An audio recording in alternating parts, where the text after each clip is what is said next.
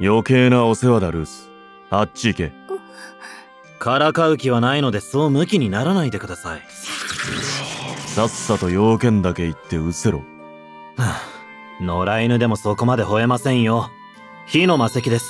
保温魔法がかかってるので暖かいはずです。わ私にくくれるんですか？ち他に誰がいるんです？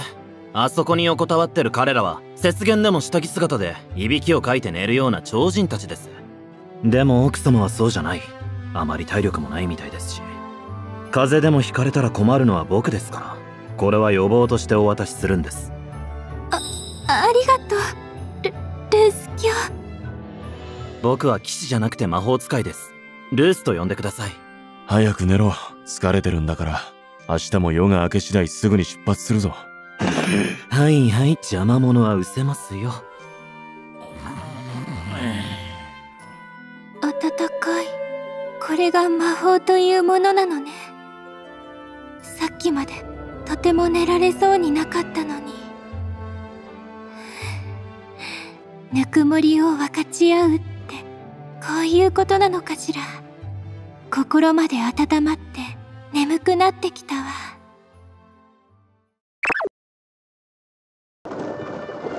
今日でもう何日目？初日以外の野宿にはそろそろ慣れてきたけど、はあ問題はやっぱり私を避けているのかしら？荷物が多いから俺も馬に乗っていく。馬車は狭いから一人で広々と使え。あとどれくらいかかる？お大きい。寝ずの番だから地面が濡れてるから馬車で寝ろ。私のことが面倒になったのかしら。はあ。どうどう？止まれ。休憩。ちょっと一休みするぞ。今日もまた野宿か。この調子じゃ森を抜けるのにあと何日かかるか。私のせいで遅れてるの？うずっと座りっぱなしだから足がしびれて力が入らない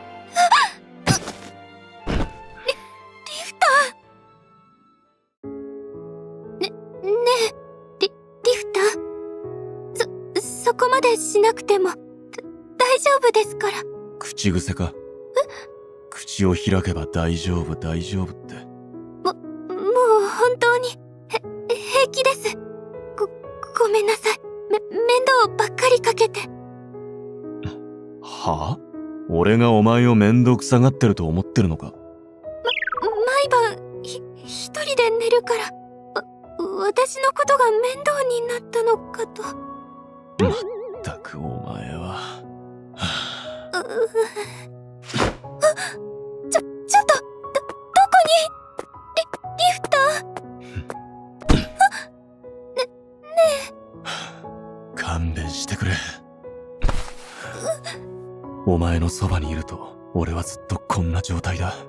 これがどれだけ辛いかわかるか。だから俺を刺激するつもりじゃないなら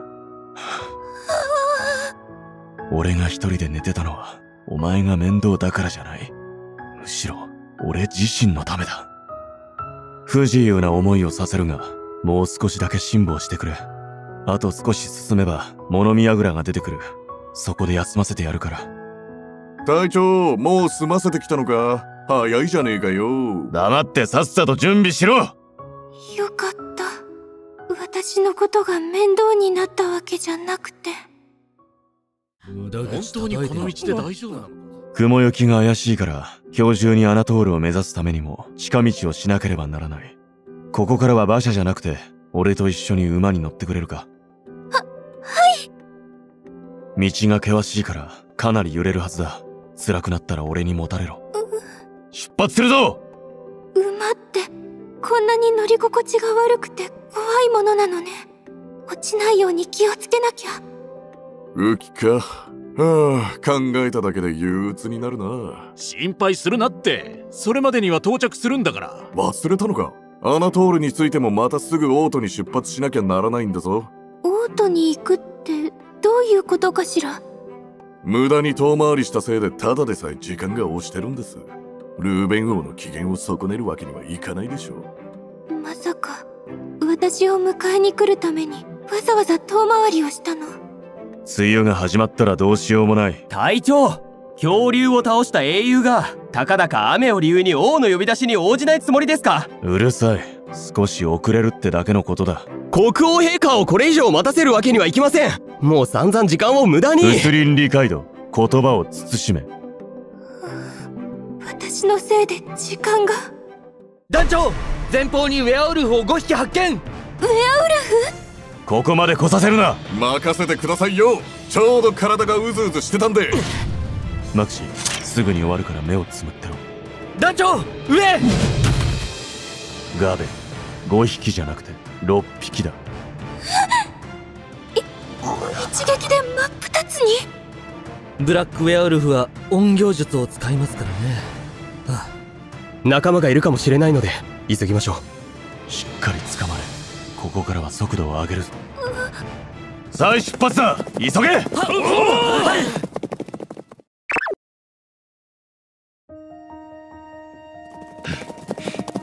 どうどう？マクシー。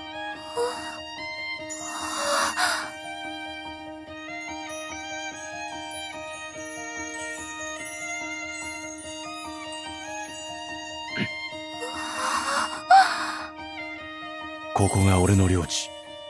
アナトールだ。